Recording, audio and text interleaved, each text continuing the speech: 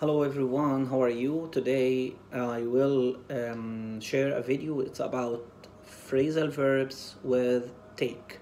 Phrasal verbs with the verb take. um, اليوم بشرح um, فيديو بسيط عن phrasal verbs. يعني إيه كلمة phrasal verb؟ phrasal verbs يعني فعل اصطلاحي.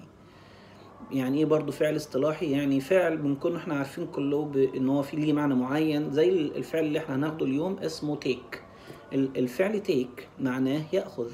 لكن لما باجي أضيف عليه حرف جر معين بيتغير معناه خالص بيديني معنى جديد تماما. خلينا كده أنا 1 2 3 4 في أربع أمثلة بيبينوا بعض الأمثلة لل- للفعل take. اولا كلمة take معناها يأخذ. كلمة take لو جه بعدها حرف الجر after بقى اسمها take after. take after يتغير معناها خالص يبقى معناها يشبه. أو يتصرف مثل فلان يشبهه في التصرفات أو حتى يشبهه في الشكل. علي takes after his father in many ways. علي يشبه أبوه في كثير من الأشياء أو بيتصرف مثل أبيه في كثير من الأشياء. يبقى take after معناها يشبه أو يتصرف أو يتصرف مثله. take back. take لما يجي بعدها back يبقى معناها يعيد أو يرجع يرجع شيء لمكانه. If the shirt doesn't fit.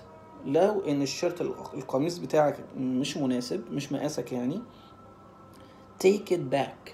take it back يعني رجعه تاني. يبقى كلمة take it يعني يعيد أو يرجع. take off.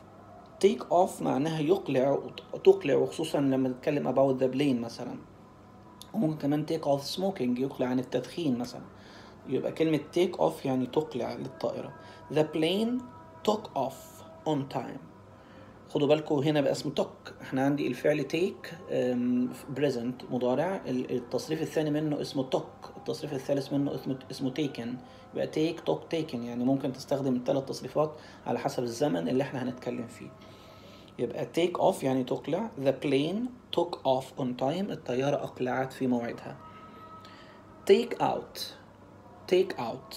Take out معناها يرافق أو يدعو شخص لحفلة أو عشاء أو غدا أو كده. I'm taking my wife out taking my wife out for a meal tonight. أنا آه، أدعو سوف أدعو زوجتي اليوم على آه، الغداء بال- بالخارج الليلة. يبقى taking my wife out يعني يدعو أو يرافق أو يدعو شخص على على حفلة.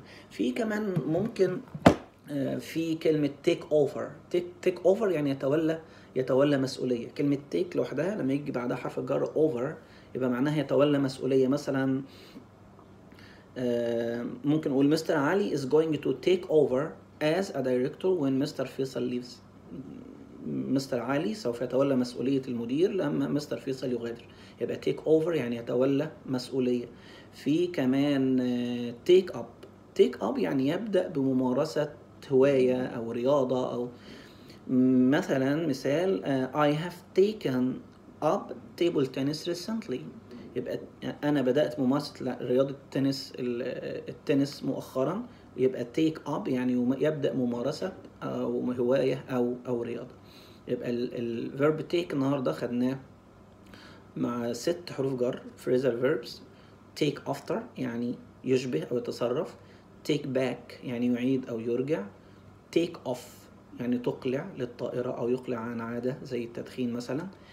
take out يعني يرافق أو يدعو شخص لحفلة أو أو عشاء أو غدا take over يعني يتولى مسؤولية زي ما يتولى مسؤولية منصب معين. take up يعني يبدأ بممارسة هواية أو رياضة.